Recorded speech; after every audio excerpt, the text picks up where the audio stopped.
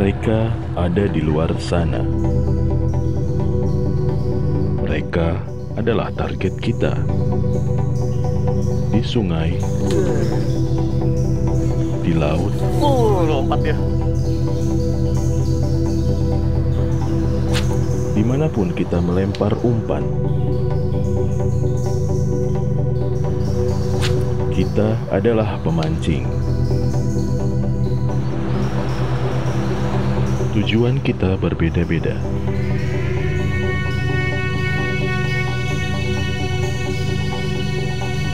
Piranti kita juga tidak sama. Tapi saat reel mulai berderit,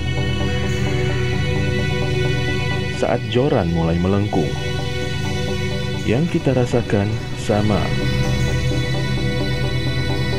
Ya, kita adalah pemancing.